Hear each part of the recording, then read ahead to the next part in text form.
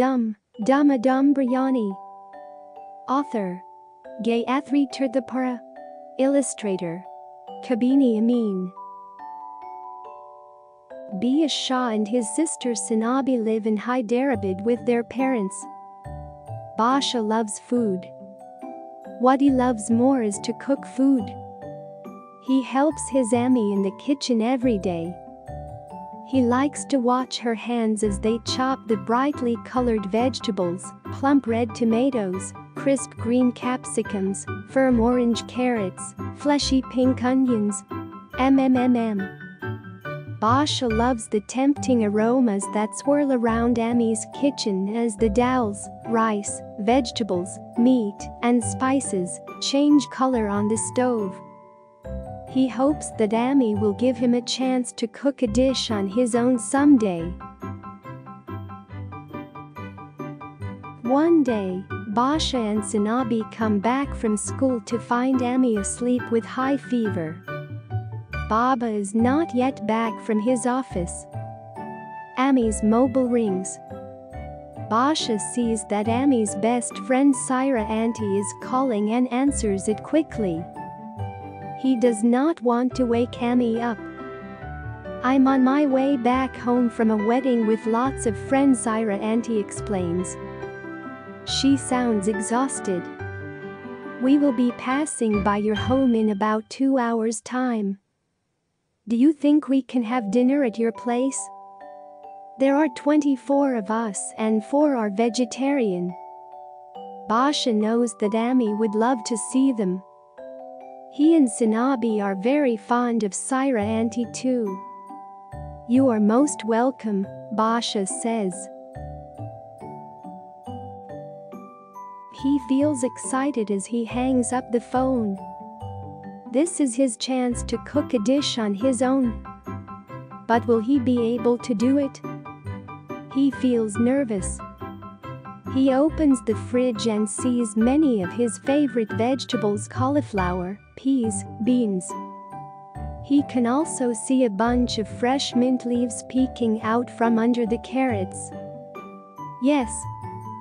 He thinks to himself, I have everything I need for a yummy vegetable dum biryani.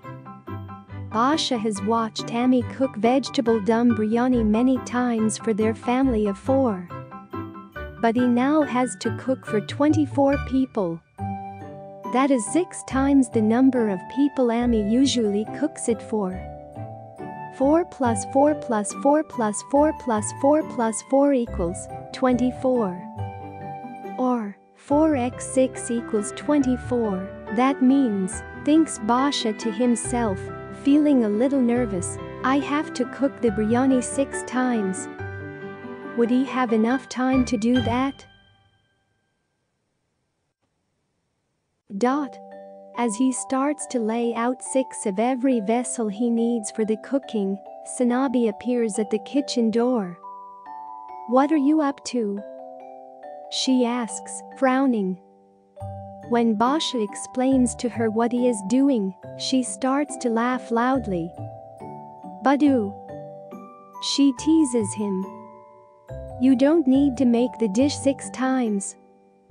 You just have to have to make it once, but with six times the quantities of all the ingredients needed. Basha doesn't like to be teased by his smart little sister. Of course he doesn't have to make the biryani six times. He could kick himself for his silly mistake. I knew it all the time, he says quickly. I just wanted to see if you knew it. Of course you did, bye, Sainabi says soothingly, but her eyes twinkle mischievously. So, tell me, how much rice do we need for four people? 1.5 cups. Then you need 1.5x6 equals 9 cups of rice for 24 people, Sainabi replies instantly. Basha stares at her. How does Sainabi work out those numbers so quickly in her head? That's right, he says gruffly, measuring out the rice into a big vessel. Now, Why don't you tell me how much we need of all the other ingredients too, and I will tell you if you are right. Sure, bye. Says Zinabi, running to get a pencil and paper. She loves it when her brother involves her in something he is doing. As Basha tells her the list of ingredients needed for four people, she calculates the quantities for 24. 15 green beans for 4 people, calls out Basha. That means 15x6 equals 90 green beans for 24. Says Zinabi. 3 fourths cup of curd for 4 people.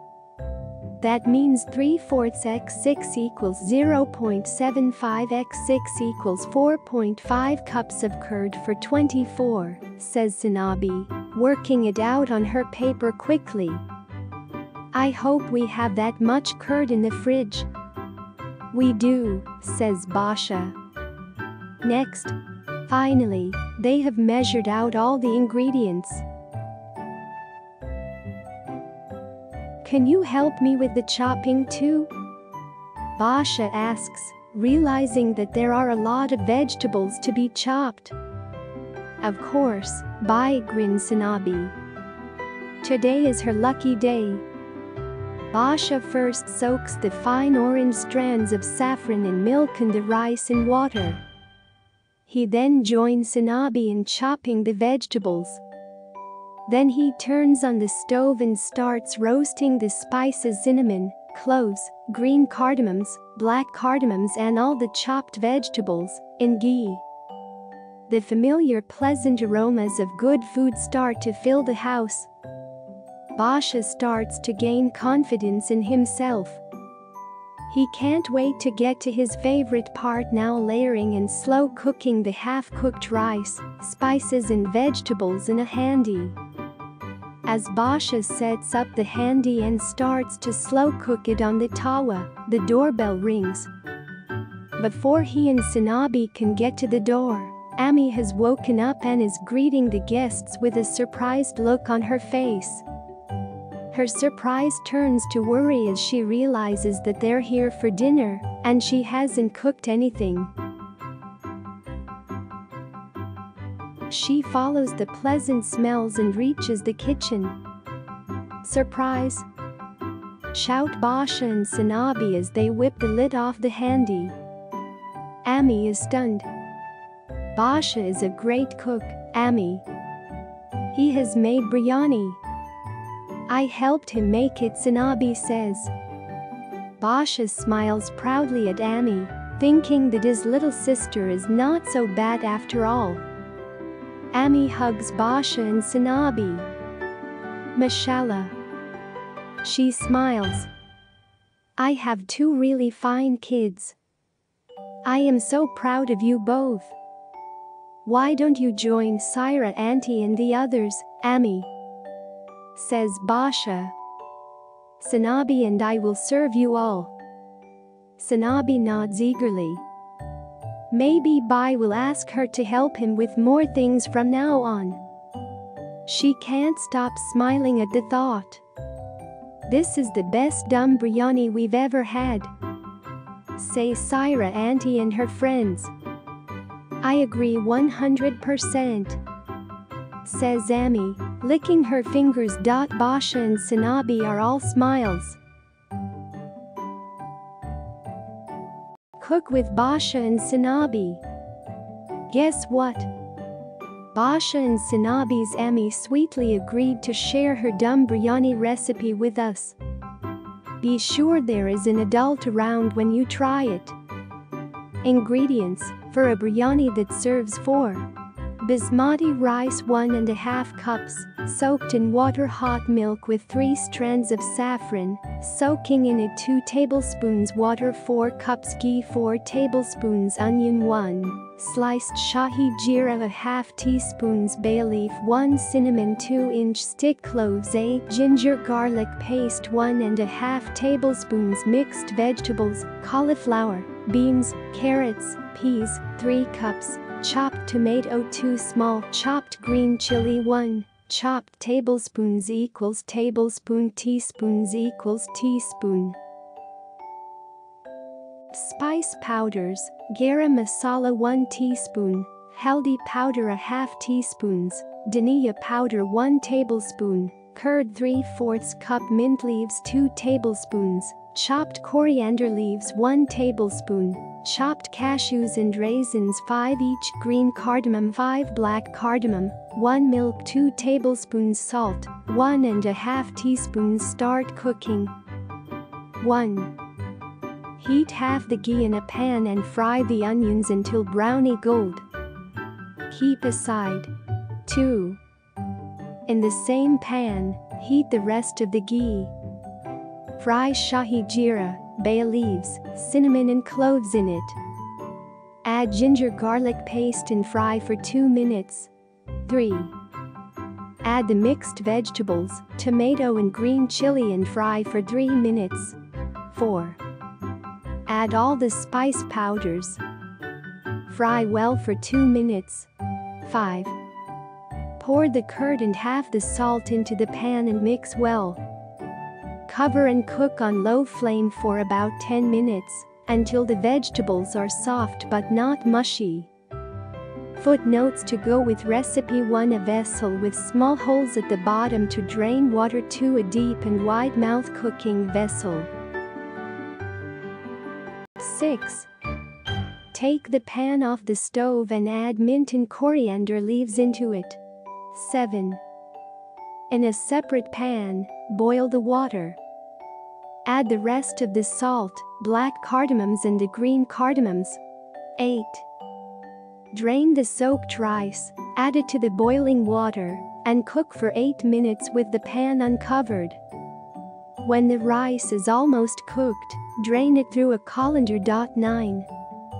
In a handi whose size is just right to hold the biryani, begin layering. In layer 1, put one third of the cooked vegetable mix from step 5 and one third of the cashews and raisins. In layer 2, put one third of the cooked rice, step 8, topped with one third of the fried onions, step 1, and one third of saffron milk. Keep alternating layers 1 and 2 until you have 6 layers.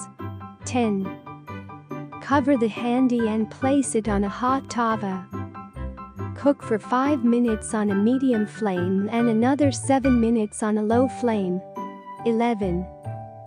Remove the handi from the stove and mix the biryani until the colors of the spices are uniformly distributed. 12. The vegetable dum biryani is now ready to serve. Colander. A vessel with small holes at the bottom to drain water handi. A deep and wide-mouthed cooking vessel. Are you a food math whiz? Can you cook up a delicious biryani for 24 like Basha did? No? Never mind. Maybe you can help him calculate the quantities of various ingredients he needs, like Sainabi did. Go on, try it. 1. If Basha needs one onion for a biryani for 4 people, how many will he need for a biryani for 24 people? 2. If Basha needs 72 florets of cauliflower for biryani that serves 24, how many florets should he put into a biryani that serves 3? 3. If the recipe says to put in 3 fourths cups of curd for a biryani for 6 people, how much curd should we put into a biryani for 48 people? 4. To make biryani for 5 people, you need 4 tablespoons of ghee. If Basha puts in 32 tbsps, how many people is he cooking for? 5. A biryani that serves 8 needs 2 2-inch sticks of cinnamon. How many 2-inch sticks are required for a biryani that serves 64? Once you're done calculating, check for answers in the next page. No cheating, okay? Answers 1. 6 onions 2. 9 florets 3. 6 cups 4. 40 people 5. 16 sticks.